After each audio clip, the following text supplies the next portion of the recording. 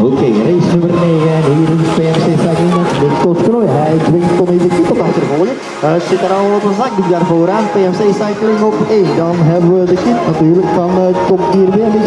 Die derde plaats die is weggelegd voor de BMX Stars met Sammy de Schepper. En op plaatje nummer 4 nou, vooraan wordt er nog afgewisseld.